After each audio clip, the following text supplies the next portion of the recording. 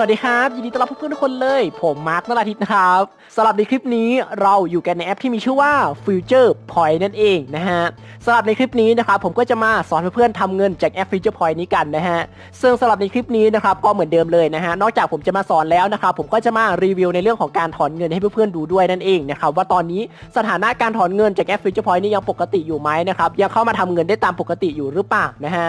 ก็ถ้าเกิดว่าเพื่อนคนไหนนะครับพร้อมที่จะดูคลิปนี้กันแล้วนะฮะอยากจะรู้กันแล้วว่าแอป Feature Point นี้ทำเงินยังไง และแอป Feature Point ตอนนี้ยังจ่ายเงินจริงอยู่ไหมนะครับก่อนอื่นให้เพื่อนๆกดไลค์คลิปนี้ก่อนเลยนะครับกดไลค์คลิปนี้แล้วก็อย่าลืมกด subscribe ด้วย แล้วก็อย่าลืมกดกระดิ่งเพื่อรับแจ้งเตือนเวลาผมอัพคลิปใหม่ๆด้วยนะครับกดเลยนะครับกดเลย ก็ถ้าเกิดว่าเพื่อนๆกดกันแล้วนะครับงั้นเดี๋ยวเราไปดูกันเลย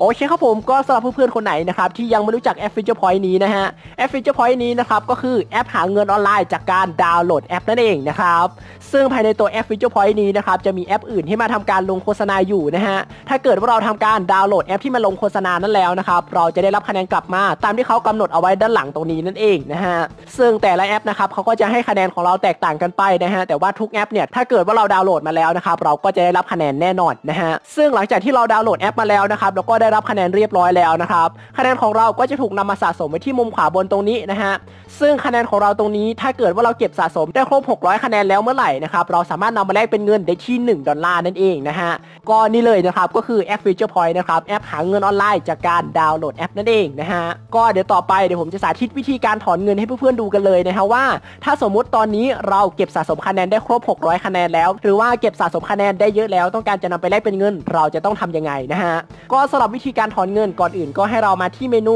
รีวาร์ดตรงนี้นะครับด้านล่างนี้เลยนะฮะเมื่อเรากดเข้ามาแล้วนะครับก็จะมีอยู่ด้วยกันทั้งหมด 3 ช่องทางที่ให้เราสามารถนำคะแนนมาแลกเป็นเงินได้นะฮะหก็คือ Steam Wallet นะครับสก็คือ PayPal แล้ว 3 ก็คือ Bitcoin นะฮะซึ่งเดี๋ยวในคลิปนี้นะครับผมก็จะทำการนำคะแนนมาแลกเป็นเงินผ่าน PayPal ให้เพื่อนๆดูแล้วกันนะฮะโอเคผมก็เดี๋ยวเราไปทำการถอนเงินกันเลยนะฮะผมก็จะทำการถอนเข้าสู่ PayPal ตามที่บอกเพื่อนๆไปเมื่อกี้เลยนะฮะ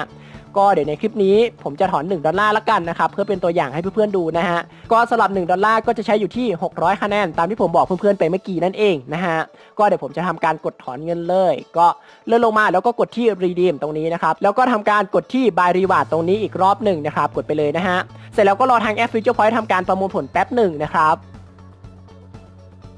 โอเคครับผมก็สำหรับตอนนี้แอป Future Point ก็ได้ทำการประมวลผลเรียบร้อยแล้วนะฮะ ก็เดี๋ยวเราทำการกดไปที่โอเคเลยนะครับ ก็สำหรับตอนนี้นะฮะคะแนนของผมก็ได้ทำการหักออกไปเรียบร้อยแล้วนะครับจำนวน 600 คะแนนนะฮะก็เหลืออยู่ที่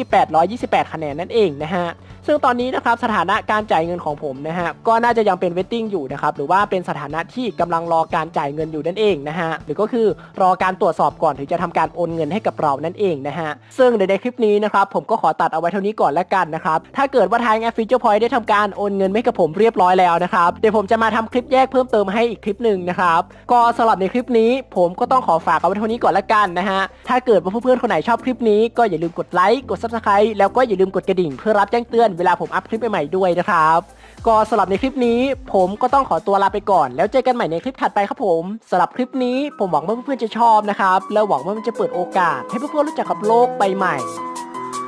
โลกของงานออนไลน์นะครับ